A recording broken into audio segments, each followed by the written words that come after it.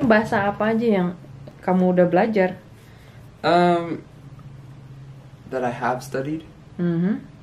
Well, how do you say dabble? Like I've I've done a little bit of study in. Ya sedikit Um, belajar. aku sedikit belajar Mhm. uh, bahasa Rusia, tapi um, tidak good. I just know phrases like kak gila, Apa itu Ari. artinya? like, apa kabar, Oh. kak gila, Skakdila. kak gila, Kakdila. kak gila. Kakdiala. Yeah, there we go. Bahasa apa lagi? Um, no, bahasa Indonesia, Hmm. and then bahasa Spanyol. Spanyol. How do you say because again? Sebab. Sebab. Hmm. It's a bop. Um, sebab ayahku bicara bahasa Spanyol. Oh iya. Iya. Ya, betul. Kamu bicara bahasa Spanyol nggak sama papa? Uh, hmm, Kadang-kadang. hari, hari, what's kadang-kadang? Sometimes. Sometimes, kadang-kadang. But not much.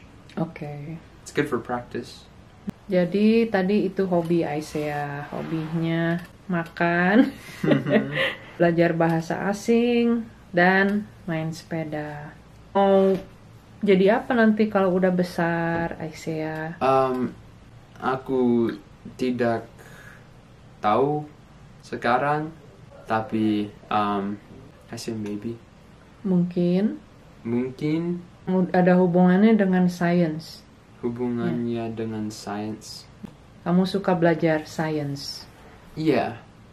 Terima kasih Aisyah udah sharing ceritanya ya. Mhm. Udah mau interview. Sekarang terakhirnya nyanyi dong. Ampar-ampar pisang, pisangku baru masak. Masak sebiji di hurung bari-bari.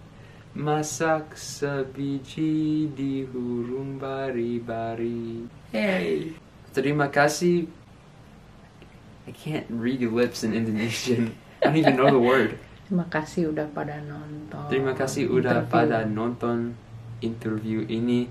Salam sehat dan um, Tuhan Yesus memberkati.